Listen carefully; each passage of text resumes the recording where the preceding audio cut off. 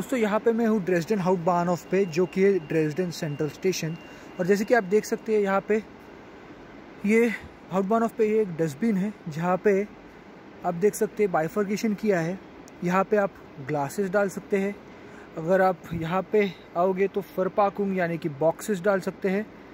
Then if you come here जो बचा कुचा हुआ कचरा रेस्ट म्यूल जो है, वो आप यहाँ पे डाल सकते हैं। और एंड में जो पेपर वगैरह है पापियर वो आप यहाँ पे डाल सकते हैं।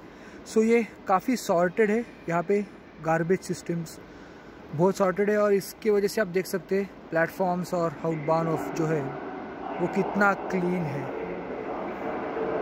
Follow me for more interesting videos